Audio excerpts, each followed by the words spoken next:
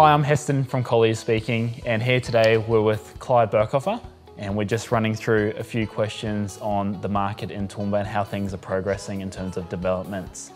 Uh, Clive, most people in the city uh, know you, and for those who haven't had the pleasure of meeting you, would you mind telling us a bit about just your story and, and why you moved into developments and businesses in Toowoomba?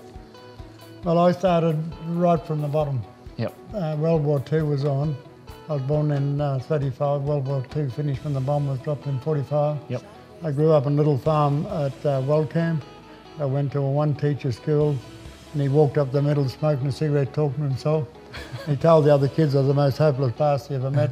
he didn't know what ever happened to me. Yeah. Uh, I didn't want to go to school. Uh, when I was 11 or 12, my father had asked me to stay home and fork hay. In, in 1986, uh, J.B. Peterson came in and asked me if I'd stand for uh, the seat of Toowoomba South. They reckon a lot of people were, reckon I was making, uh, using it to make money, uh, knowing what was going on. But always say the last year I was mayor, I sold $5 million worth of land. The next year I got out of being mayor, I sold $25 million worth of land. So that was helping yourself.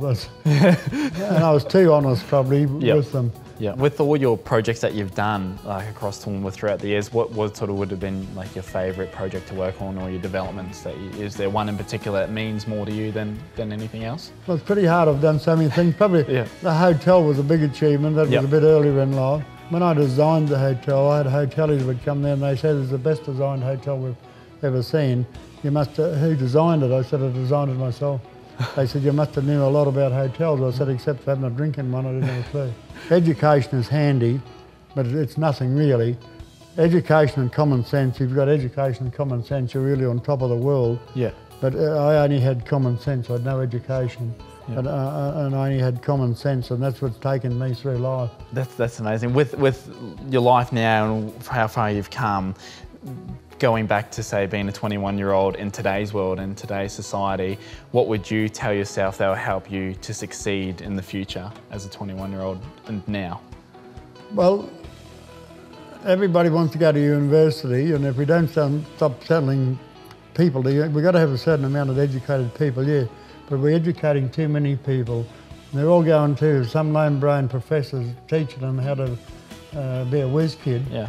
Uh, and uh, they're getting overeducated. They're teaching how to get out and fleece the public instead of getting out and doing an honest day's work. Now, lots of people can make money, but they can't handle it. And other people can handle money, but they can't make it. I had a happy knack. I could do both. So a lot of young people are a bloody liability. Yeah. I just bought that car out there that's 15 year old, that uh, Ford Explorer, yep. for $8,000 and it's just like I could come out of the showroom. So oh, that's amazing. Um, and Clive, um, also with the developments such as um, Brisbane West Airport and the Grand Central, we touched on that off camera. Um, how do you think that's impacting Toowoomba? Is it good? Is it bad? What's it doing to businesses? How do you think that's going to be travelling in the future? Uh, Grand Central, you know, it's monstrous. I can't believe that they're building something as big. Mm. I, I owned Village Fair at the time when they built the old Grand Central just approximately 20 years ago. Toowoomba was born on farmers. Yep. Farming is a big thing, and it's still quite a big thing there.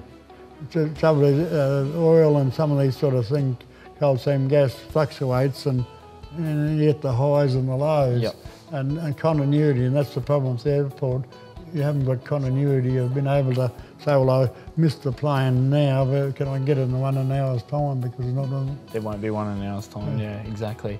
Um, a lot of the viewers today are probably wondering how these developments are going to impact the residential market. So for people, you know, in multiple suburbs yeah. that might be considering selling, um, will this impact their value on their property or will there, you won't see much impact in the market or how will Well, this... uh, what's worrying me with Toowoomba, and I hope I'm wrong, Gold Coast goes like this, Yep. And it goes like that. Yep. Toowoomba, I've prided and I've always, as me, I always said, it doesn't boom, it doesn't gloom.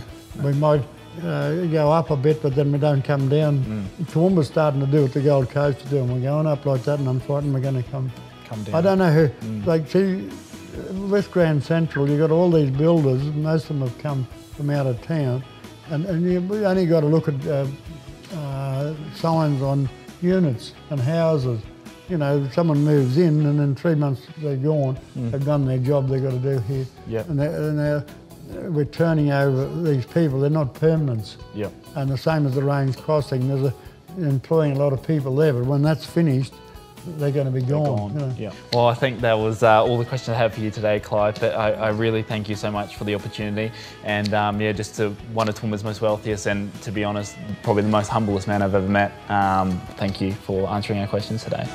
Shockwave